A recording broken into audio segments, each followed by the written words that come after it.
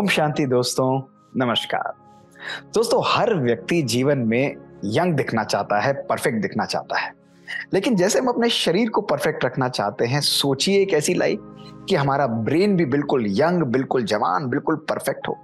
हमारे सोचने की शक्ति बिल्कुल परफेक्ट रहे, चाहे हम कितने भी बुज़ुर्ग हो जाएँ। सोचिए दोस्तों, अपने मन में ऐसी स्थिति कि अगर हम बार बार भूल रहे हैं तो हमको चिंता सताएगी। अगर बार बार हमको बातें ध्यान नहीं रहती तो हमको चिंता सताएगी। क्या ऐसा कोई जादुई मंत्र है जिसके द्वारा हम अपने ब्रेन को भी उतना ही यंग रख सकते हैं? अपने ब्रेन की मेमोरी पावर को, अपने ब्रेन की पुरानी मेमोरीज को, अपने ब्रेन की डिसीज़न एबिलिटी को हम बिल्कुल परफेक्ट रख सकते हैं। इसके लिए क्या मंत्र है दोस्तों? इस शक्ति को कहा जाता है पावरफुल कॉग्निटिव रिज़र्व। दोस्तों आज मैं आपको बड़ी मैजिकल जर्नी पर लेकर चलूँगा। अगर आपने इन बातों को सुन लिया तो आप देखेंगे कि आपकी मेमोरी पावर परफेक्ट रहेगी और जो अनेकों अनेक बीमारियाँ आती हैं, जिनको हम कहते हैं कि ये बुज़ुर्ग की बीमारियाँ हैं, बुढ़ापे की बीमारियाँ हैं, जैसे एल्जाइमर्स हैं रिपीटेडली फॉरगेटफुलनेस है बार बार चीज़ों को भूल जाना है, लोगों को अपने परिवार में ही पहचानना बंद कर देना है, ऐसी सब बातों को आप काफ़ी हद तक रोक सकेंगे और कंट्रोल कर सकेंगे। दोस्तों, आपको इस यात्रा के बारे में बताता हूँ। आज से करीब 30-40 साल पहले एक नंस स्टडी हुई थी। दोस्तों, इस नन स्टडी में 678 नंस को लिया गया। उनको रेगुलरली टू डेकेट्स तक फॉलो किया गया। और बाद में जब उनकी डेथ हुई, उनके ब्रेन का एमआरआई किया गया, उनके ब्रेन को एनालाइज किया गया। दोस्तों, जब उनके ब्रेन को फर्दर देखा गया तो उसमें देखा कि उनके ब्रेन के अंदर इतने सिग्निफिकेंट डैमेजेस थे कि प्रैक्टिकल लाइफ में उनके अंदर भूलने की बीमारी, जिसको हम डिमेंशिया कहते हैं, उनके अंदर एल्जाइमर्स की बीमारी ज़रूर होनी चाहिए थी। लेकिन जब उनकी प्रैक्टिकल लाइफ को इंस्पेक्ट किया गया तो देखा गया ऐसा कोई भी सिम्टम उनके अंदर था ही नहीं, उनमें से काफ़ी लोगों के अंदर। तो लोग हैरान हो गए कि जहाँ ब्रेन तो इतना पुअर हो चुका है वो एनाटॉमिकली यानी स्ट्रक्चरली इतना खराब हो चुका है ऐसे कैसे पॉसिबल है कि वो बीमारी जो है बाहर मैनिफेस्ट नहीं कर रही? यहाँ लोगों का दिमाग चलना चालू। यहाँ लोगों ने उसकी साइंस के अंदर जा, जा, जाना आरंभ किया दोस्तों। फिर क्या पाया कि हमारा ब्रेन जो है वो मल्टीपल कनेक्शन के थ्रू काम करता है। जैसे वायर होती है ना घर में, उसी प्रकार हमारा ब्रेन भी इलेक्ट्रिकल वायरिंग के थ्रू काम करता है। और दो वायर्स के बीच में जो कनेक्शन होता है, उसको साइनेप्स कहते हैं, यानी जोड़ कहते हैं। वहाँ पर दोस्तों एक केमिकल होता है, वो केमिकल हमारी इंफॉर्मेशन को मेमोरी को, हमारी डिसीजंस को एक न्यूरॉन से दूसरे न्यूरॉन पे पास करता है। लेकिन उम्र के साथ क्या होता है कि ये जो बीच का कनेक्शन होता है, ये जो मीडिया होता है, जो ट्रांसमीटर होता है, इसमें एमाइलॉइड बीटा नाम का कुछ अलग नेगेटिव पदार्थ जमा होता जाता है। अब दोस्तों जैसे जैसे पदार्थ जमा होता है तो क्या होगा? ये केमिकल उन दोनों कनेक्शंस के बीच में एंटेंगल्स बना देता है इन्फ्लेमेशन कर देता है और उनको डिस्ट्रॉय करने लग जाता है। अब जैसे उम्र बढ़ती है, ये केमिकल भी बढ़ता है। हमारी लाइफस्टाइल का भी इसके ऊपर बहुत इन्फ्लुएंस होता है। जीवन में अगर क्रॉनिक स्ट्रेस है किसी भी प्रकार का क्रॉनिक स्ट्रेस है फ़िज़िकल है मेंटल है सोशल स्ट्रेस है, वो सब प्रकार का तनाव जो है इस केमिकल को बढ़ाता है और ये इन्फ्लेमेशन कॉज करके उन साइनेप्टिक कनेक्शंस को, उस इलेक्ट्रिकल ब्रेन की वायरिंग को कम कर देता है और स्पेशली ब्रेन का वो एरिया जो कि मेमोरी एरिया है, जिसको हिप्पो कहते हैं, वो बहुत पावरफुल तरीके से इफ़ेक्ट होता है दोस्तों। इसलिए उम्र के साथ लोगों की जो स्मरण शक्ति है, जो मेमोरी पावर है, वो कम होती जाती है। अब इन नंस के अंदर ऐसा क्या जादू था? ये ऐसे कई लोग जिनके अंदर देखा गया कि उनके ब्रेन में तो सिग्निफिकेंट डैमेज है, लेकिन बाहर से वो बिल्कुल अलर्ट हैं एक्टिव हैं पावरफुल हैं, उनको सब कुछ याद रहता है। ऐसा कैसे हो सकता है? तो दोस्तों, लोगों ने और साइंटिस्ट ने जब इस पर एक्सपेरिमेंट्स किए, इसको स्टडी किया तो करीब चार पाँच ऐसी चीज़ें पाई, जिनको अगर हम अपने जीवन में रोज ले आएँगे, अपने लाइफस्टाइल में ले आएँगे दोस्तों तो आप तो ये सोच कर चलिए कि आपका ब्रेन बिल्कुल परफेक्ट हेल्दी रहेगा, आपकी याददाश्त काफ़ी हद तक दोस्तों बढ़िया रहेगी। और ये ऐसी बीमारियाँ हैं एल्जाइमर्स वगैरह, इनको आप दूर भगा पाए दोस्तों, सबसे पहली चीज़ जो इसको इन्फ्लुएंस करती है, वो है प्रॉपर नींद।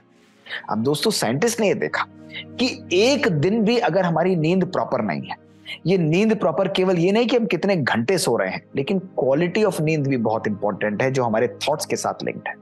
तो अगर एक भी दिन हमारी नींद प्रॉपर नहीं है तो हमारे ब्रेन के अंदर जो कनेक्शन है, उनके बीच में ये प्रोटीन बढ़ जाता है और हमारे इन्फ्लेमेशन हमारे न्यूरॉन्स को डैमेज करता है।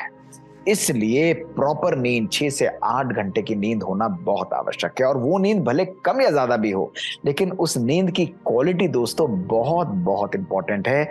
वो सुपर होनी चाहिए और परफेक्ट होनी चाहिए। तो सबसे पहले नींद का पूरा ध्यान रखें। दूसरी बात दोस्तों, वो है एक्सरसाइज और व्यायाम।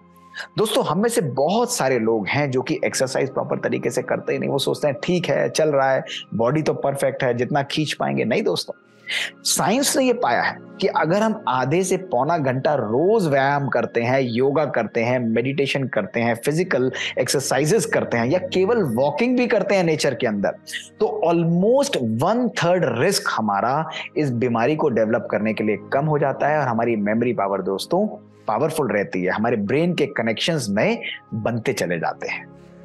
तीसरा दोस्तों, वो है रेनबो डाइट देखिए नाम देखिए रेनबो डाइट रेनबो यानी रंग बिरंगी डाइट दोस्तों, अगर हम रोज अपनी डाइट के अंदर विभिन्न प्रकार के कलरफुल वेजिटेबल्स अलग अलग सीजनल फ्रूट्स को इंक्लूड करते हैं सलाद की दो या तीन सर्विंग्स लेते हैं, जिसके अंदर माइक्रो न्यूट्रिएंट्स है मैक्रो न्यूट्रिएंट्स है फ्लाविडॉन्स है, ये सब चीज़ें उसके अंदर आती हैं दोस्तों। ये हमारे ब्रेन के लिए एलिक्सर का काम करती है और हमारी एजिंग कम होती चली जाती है, हमारी मेमोरी पावर दोस्तों बिल्कुल परफेक्ट हो जाती है, उसको हम लोग मेंटेन कर पाते हैं। साइंस ये बताती है कि almost 50 percent decrease amyloid beta के अंदर, वो जो हार्मफुल केमिकल है, वो कम हो जाता है। 50 परसेंट अगर हमारी डाइट दोस्तों प्रॉपर है। तो तीसरा स्टेप हुआ रेनबो डाइट दोस्तों, चौथा स्टेप क्या होगा? चौथा स्टेप है हमारे जीवन में नई नई प्रकार की सीखने की कला। साइंस ने यह भी देखा कि जो लोग केवल एक ही काम रोज नहीं करते, कई बार हम अपने आप को एक साइकिल एक विशेष साइकिल में ढाल लेते हैं कि भाई सवेरे उठना है, वही कॉफ़ी मग है, वही कार्य है, उसी प्रकार से नाना है, उसी तरीके से कपड़े पहनने हैं, उन्हीं प्रकार से अखबार को पढ़ना है, उसी प्रकार के कार्य को लगातार करते चले जाना है और वही प्रकार की पजल्स को सॉल्व करना है, वही किताबें पढ़नी है, एक रिडंडेंट साइकिल बनती चली जाती है। तो दोस्तों, अगर हम अपने आप को एक ही साइकिल में ढाल लेते हैं तो हमारा एक ही साइनेप्टिक कनेक्शन परफेक्ट होता चला जाता है। लेकिन अगर हम उसी कार्य को नए तरीके से करते हैं, उसी कार्य को नए प्रकार से करते हैं तो नए कनेक्शंस बनते हैं ब्रेन के। हमारा बैकअप रिज़र्व पावरफुल तरीके से डेवलप होता है और हम लोग अपनी एजिंग को, अपनी मेमोरी पावर को बरकरार रख सकते हैं। दोस्तों, इसलिए अपने आप को कभी भी एक रिडंडेंट साइकिल में मत डालिए। नई नई प्रकार से नई चीज़ों को देखना बहुत इंपॉर्टेंट है, इसको कहते हैं लर्निंग न्यू थिंग्स नई प्रकार के, कभी घर के कार्य में हाथ बैठाइए कभी नई प्रकार की हॉबीज को डेवलप करिए, कभी कहीं नई जगह घूमने जाइए। दोस्तों, अगर ऐसी चीज़ें हम करते हैं लर्निंग न्यू थिंग्स ये almost thirty two forty percent उस हार्मफुल केमिकल को कम कर देता है। और दोस्तों पांचवी चीज़ जो बहुत इंपॉर्टेंट है, वो है सोशलाइजिंग लोगों से मिलना, परिवार में एक दूसरे के साथ बैठना, उनकी एक दूसरे के प्रति एक्सेप्टेंस को लाना अंडरस्टैंडिंग को लाना सोशलाइज करना फ्रेंड्स के साथ आउटिंग्स पे जाना, ऐसी चीज़ें जब आप करते हैं, ये हमारे ब्रेन को हेल्दी रखती हैं और साइंस ये क्लियरली कह चुकी है कि simple and most powerful tool to have a successful and happy life is having good relation एक दूसरे के साथ मिलकर सोशलाइज करते हुए दोस्तों रहना।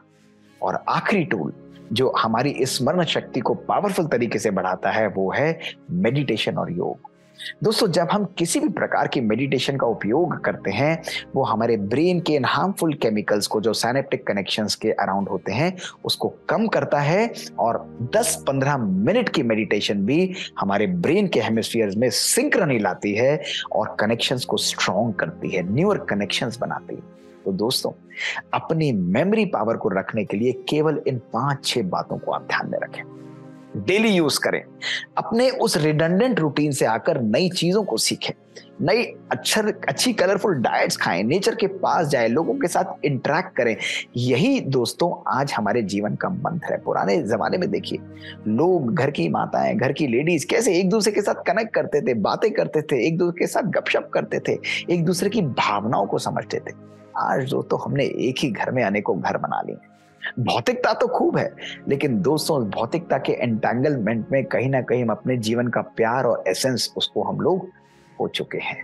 दोस्तों, हमारे ब्रेन की ये एबिलिटी कि कोई भी टास्क अगर वो पुराने न्यूरॉन से नहीं कर पा रहा है, वो ऑल्टरनेट पाथवेज के द्वारा जिसको हम कॉग्नेटिव रिज़र्व कहते हैं या जिसको हम कहते हैं नए न्यूरोनल कनेक्शंस हैं, उसके द्वारा वो बाईपास करके उस कार्य को करा लेता है और मेमोरी को इंटैक्ट रखता है, इस शक्ति को कहा जाता है कॉग्निटिव रिज़र्व तो दोस्तों, अपने कॉग्निटिव रिज़र्व अपने बचत के ब्रेन के बचत के खाते को बढ़ाने के लिए ब्रेन की स्मरण शक्ति को शक्तिशाली रखने के लिए इन सिंपल टिप्स का आप उपयोग करें और फिर देखें, आपकी याददाश्त परफेक्ट रहेगी, आपकी हेल्थ बिल्कुल परफेक्ट रहेगी मेमोरी पावर बिल्कुल वंडरफुल रहेगी और एल्जाइमर्स और स्ट्रोक और ऐसी बीमारियों से आप काफ़ी हद तक अपने आप को बचा सकते हैं। तो आज से ही लग जाइए, अब शेड्यूल को मॉडिफाई करिए, अपने परिवार के अंदर सबको ये बात बताइए और एनर्जी से एक नई ज़िंदगी की आरंभ करिए।